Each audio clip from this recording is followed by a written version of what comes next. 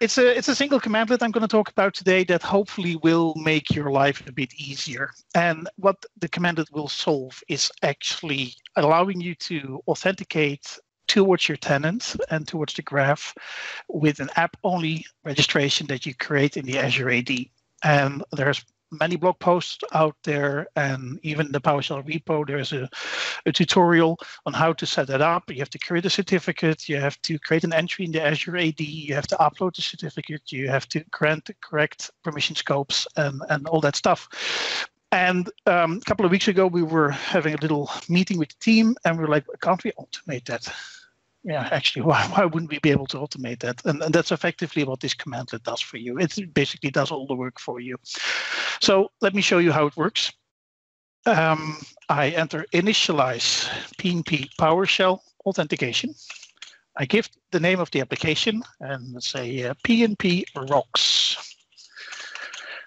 Then my tenant that I specify. Then I can specify an existing path to an existing certificate. But in this case, I just want to create a new certificate. So I can specify all these parameters like common name, country, state, all these things that are applicable to certificates, but I'll just leave them um, blank. If I specify the out path, it will actually generate both the CR file and the PFX file so the public and the private version of the of your certificate it will create those. So you can take them with you somewhere and, reuse them if you want to. But if you you don't have to do that you can also just specify the store parameter. And you say listen i want to add that certificate to my uh, current um, current user store in windows. So in this moment on, it will create the certificate and it will um, upload that certificate to your user store, your certificate manager in, in Windows, and it will create the Azure AD entry. So if I press enter right now, you see there's a pop-up behind the screen, behind the PowerShell, and I'm logging in to my tenant. And it says already certificate added to store, and now it waits 60 seconds. So while we're doing that, I'm actually showing you what's happening in AD. And if I reload this page now, and authenticate again.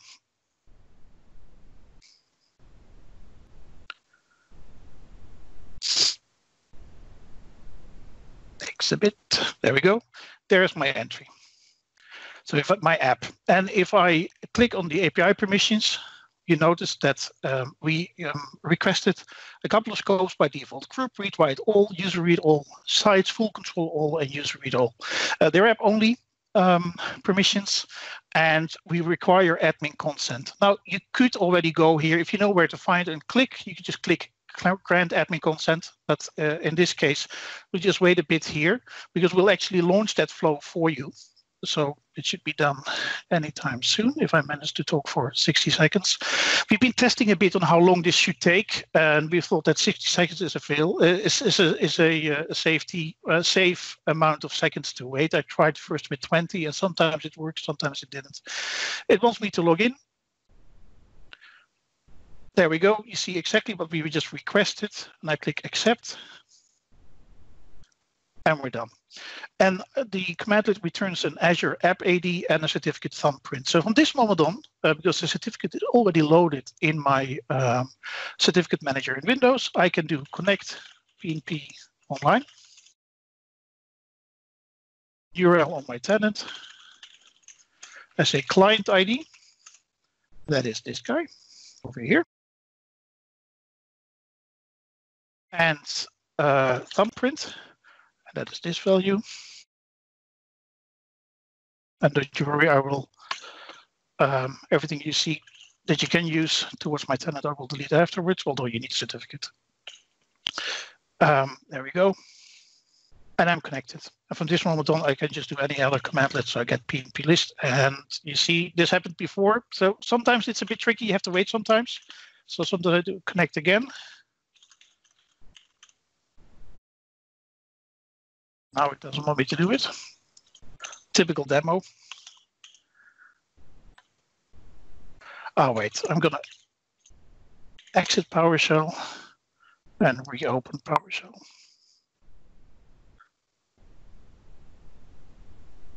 Connect.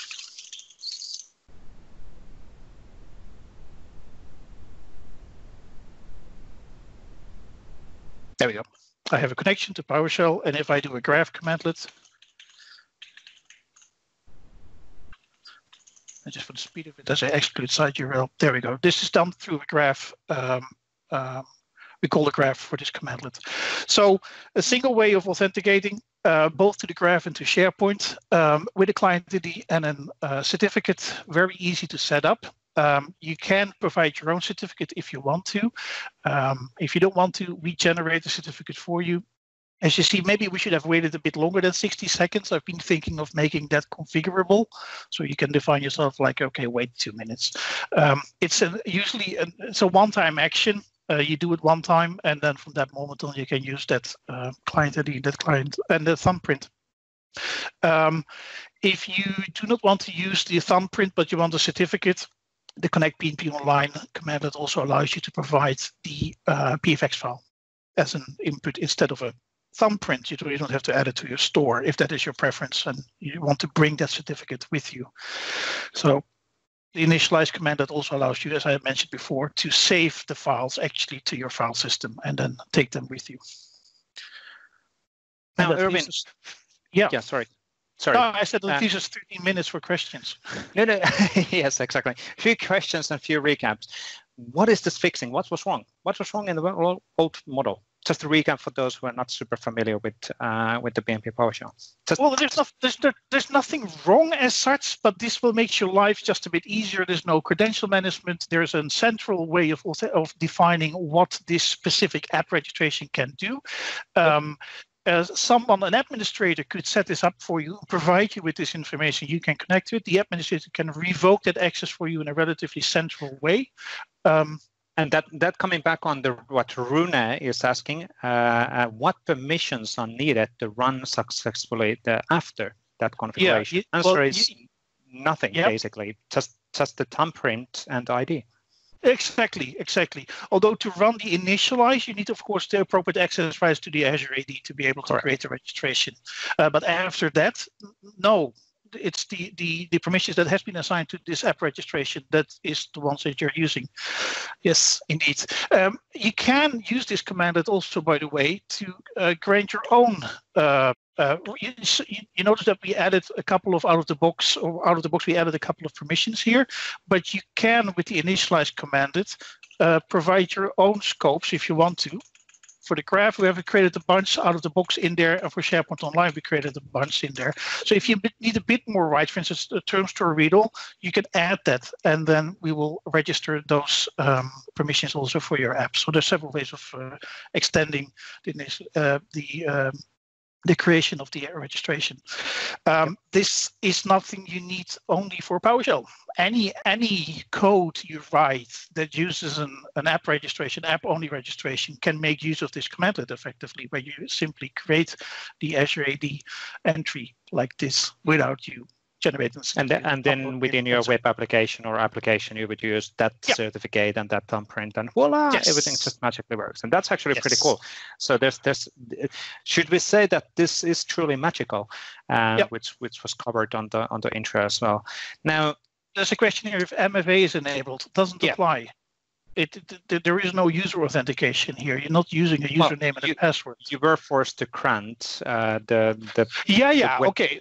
The granting part, but that runs in the browser effectively, so the whole MFA flow will just kick in at that moment in time. We're not doing it. Yeah. The, the, UI you saw there is actually was it just basically think of it as a, a browser window navigating to Azure um, and the yeah, authentication so endpoint of uh, that, That's a super yeah. super complex way of saying yes. MFA will.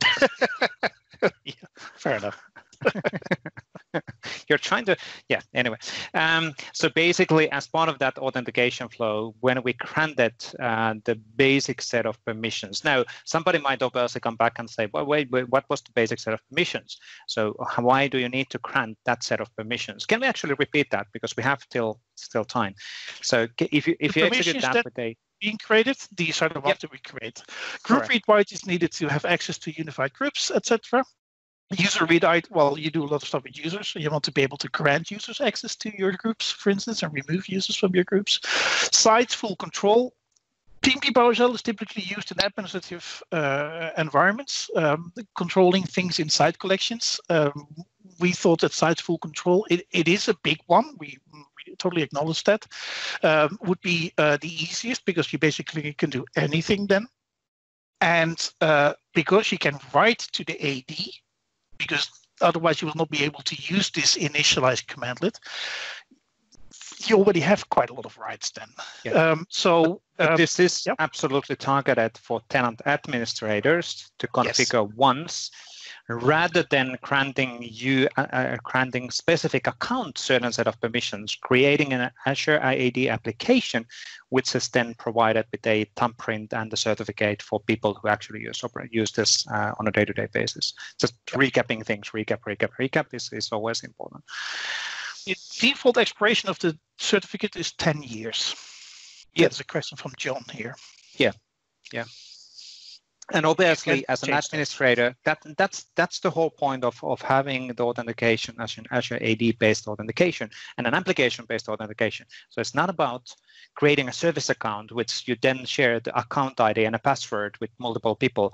Um, and what if you have an mfa enabled? And then that makes things complicated. And then you in the worst case scenario you have a, a mobile phone which you give to somebody else to actually mfa in which is insane.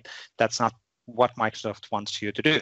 Yeah, it, it's much better to actually have an application-specific registration, like in this case. Um, and the PnP Rocks uh, is basically just an application which which uh, the PowerShell commandlet created, and then there's the default set of scopes, and you can add additional scopes here as well, and the, and then you get the thumbprint and the certificate, which is basically matching to user ID and uh, the password, so to say, in, in imaginary world, then it's not precisely the same, but it's it's almost the same. And then people can use that information to come in. If needed, administrator can say that, hey, what is this? And let's get rid of these permissions. Off, they're gone without deleting an account, without forcing a re-password, whatever, because that's not a reliable model. So good. Carl was asking here, why did I have to restart PowerShell? Um, that was the question, yeah. yeah, with the risk of going too technical, but we set a lot of static variables with values underneath uh, during this Power, PowerShell session. Restarting it actually cleared those variables of its current values and allowed me to reconnect correctly. Once the connection failed using the certificate, that variable was not cleared out correctly, and that was the reason I had to restart it. Yeah. Can an admin reset the certificate? Well, it can, yeah, yeah. You can remove it from the app registration. Yeah. Yes exactly exactly. And then uh, is anybody alerted when certificates is due to expire soon? I think that's isn't that that's some sort of a azure setting. I don't know if there's a native I azure setting know. for that. I don't know actually. It, it's the classical know. thing. You you might think that azure has that kind of capability um, in because this is nothing to do with sharepoint nothing to do with PnP it's just azure oh. ad application. Um, there's an expired setting but obviously you want to have that warning so that your application doesn't expire or doesn't break on. Now, what's interesting around this one is, is I think Rodrigo said it really well, just to recap this as well. This is really useful for Azure functions. If you connect from the Azure functions to the SharePoint, as an example, using the PnP PowerShell, um, yep. because now you can create the certificate application registration in Azure AD from your computer, and then you have the certificate, you have the, the all of the needed connection information to call from the Azure functions. And then you go to the Azure function, set up the PowerShell settings for that one, and voila, everything magically works. It's super cool.